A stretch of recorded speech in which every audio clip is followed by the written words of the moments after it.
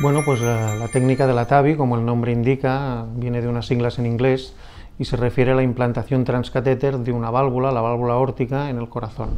Bueno, en principio es una técnica que la tenemos como una alternativa a la cirugía convencional para un subgrupo determinado de pacientes, que concretamente serían los pacientes con una estenosis de la válvula órtica, es decir, una estrechez de la válvula que permite la salida de la sangre desde el corazón a la circulación y normalmente estos pacientes son sometidos a un tratamiento quirúrgico de cirugía en que se sustituye la válvula por otra, pero hay pacientes eh, en que por eh, enfermedades concomitantes o edad avanzada se considera que tienen un riesgo quirúrgico elevado o incluso a veces prohibitivo y en este caso hay esta alternativa terapéutica que consiste pues, en, en una maniobra a priori menos agresiva que la cirugía y eh, estas válvulas, que son unas válvulas biológicas, se implantan a través de un catéter siguiendo la circulación en la misma posición en que está la válvula enferma, de hecho queda en general agarrada, cogida al, tejido de la, de, la, de la, válvula antigua, y en el momento en que se libera, eh, de diferentes maneras, unas veces con un balón, otras veces puede ser la válvula autoexpandible, pues la válvula ya empieza a funcionar. La técnica en sí mismo es menos agresiva, evidentemente no deja de ser tam, también un procedimiento pues que,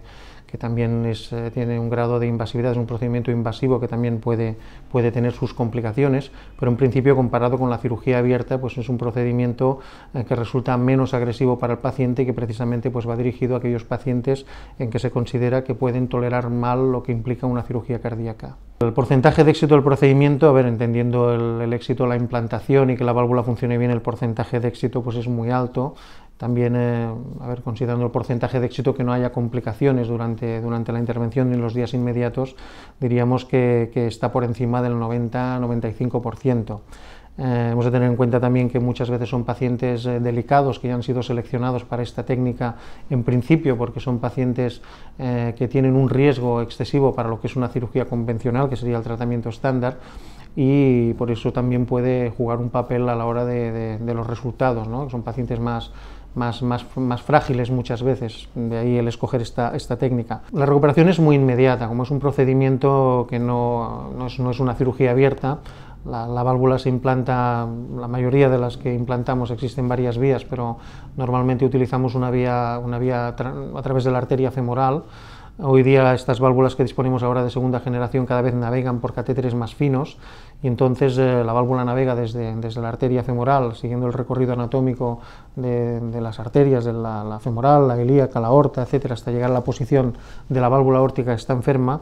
Eh, a ver, todo este proceso, este procedimiento, pues, eh, pues resulta menos agresivo que lo que es una, un, abrir el esternón y entrar en circulación extracorpórea, etcétera volvemos a lo mismo, que por eso está dirigido para pacientes más, más delicados, más frágiles. ¿no? Entonces la recuperación pues, es, es, es, mucho más inmediata porque el grado de agresión de, es, es, menor. Normalmente son pacientes que ya, que ya salen extubados de, de, la intervención y que si no hay ninguna complicación, pues no es inusual que a lo mejor en 5, 6, 7 días estén, estén ya en, en, su casa y con un nivel de recuperación pues, muy rápido, muy precoz en comparación con lo que es la cirugía convencional.